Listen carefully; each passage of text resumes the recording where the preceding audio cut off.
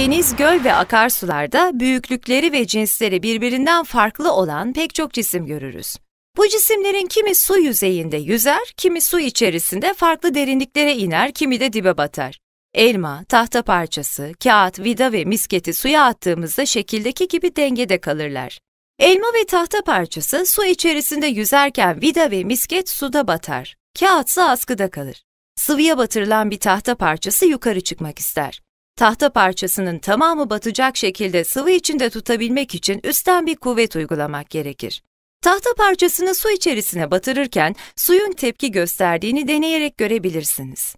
Suyun bu tepki kuvveti kaldırma kuvvetidir. Sıvıların kaldırma kuvvetini Arşimet bulmuştur. Çok büyük kütleli ve büyük boyutlu gemiler bile suda Arşimet prensibi sayesinde yüzerler. Kaldırma kuvvetini daha iyi anlayabilmek için M kütleli bir cismin ağırlığını havada, suda ve tuzlu ya da şekerli suda ölçelim. Deney yaptığınızda bulduğunuz sonuçların birbirinden tamamen farklı olduğunu göreceksiniz. Sıvıların öz kütlesi arttıkça kaldırma kuvveti de artar. Bundan dolayı şekildeki dinamometrenin gösterdiği değerler arasında G1 büyüktür G2 büyüktür G3 ilişkisi vardır. Bunu başka bir deneyle de görebilirsiniz. Saf su içine atılan yumurta dibe batar. Suya tuz ilave edilerek karıştırıldığında yumurta yüzmeye başlar. Bunun nedeni suya tuz karıştırıldığında suyun öz kütlesinin artmasıyla kaldırma kuvvetinin de artmasıdır. Bütün akışkanlar, sıvılar ve gazlar içerisinde bulunan maddeye kaldırma kuvveti uygularlar. Sıvı ne kadar yoğunsa uygulanan kaldırma kuvveti de o kadar fazladır. Yüzden suyun kaldırma kuvvetini suya girdiğimizde hissederiz ama havanın bize her zaman uyguladığı kaldırma kuvvetini hissedemeyiz. Çünkü havanın kaldırma kuvveti çok küçüktür.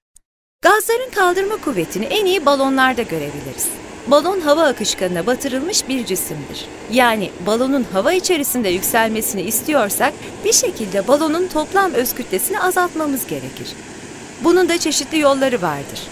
Örneğin balon içindeki havayı ısıtarak içindeki havanın yoğunluğunu azaltabiliriz. Başka bir yöntemse balon içerisine havadan daha hafif bir gaz doldurmaktır. Uçan balon havayla şişmez. Hidrojen denen havadan 15 defa daha hafif bir gazla şişirilir ki çok yükseklere uçabilsin.